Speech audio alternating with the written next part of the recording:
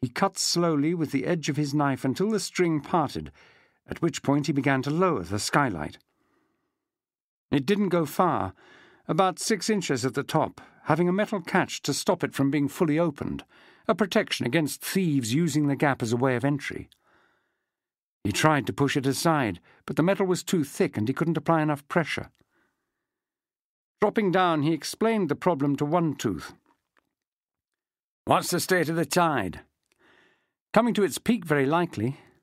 When you asked to do something. That niggled Pearce, and he was close to saying so. But what was the point?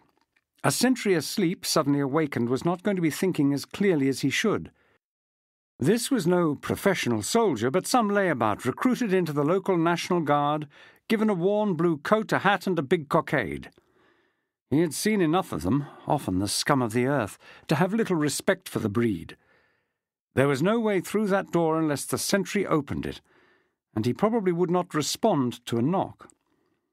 But he might, just might, react to a row. Then he paused, holding up his hand to stop One Tooth saying any more, because once they were committed there would be no going back. The noise he anticipated would certainly wake up more than the sentry, for there were the people who lived above. What would they do?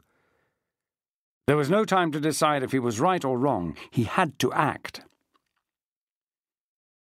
John Pearce could hardly say that riot was a speciality, but he had seen enough in his time, not least the night he was taken from the Pelican, to know that most people kept their shutters closed if they heard a disturbance outside. In France now, or certainly in the Paris he had so recently left, that was doubly so for fear of implication in something that might see a person in a tumbril on the way to the guillotine.